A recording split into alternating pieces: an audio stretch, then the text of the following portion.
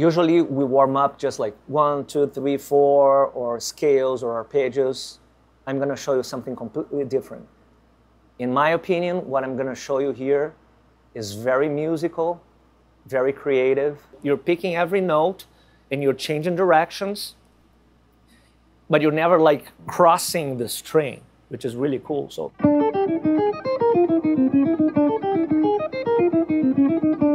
I'm gonna do some hybrid picking.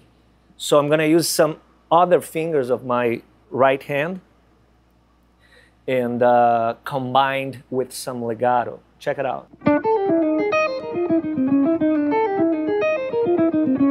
Uh, after I do this, I do upstroke, up, up, middle, and ring fingers. So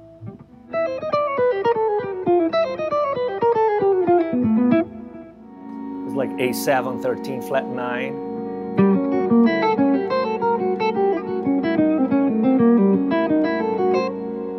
And you can loop that. Next one, it's kind of like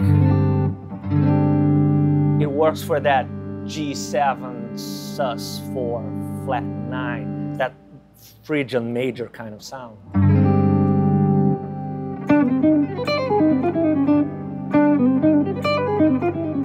It's nice to have one of your warm up uh, uh, uh, exercise, and just like in the middle of the gig, you can play that, and some people think, oh my God, that's a nice lick.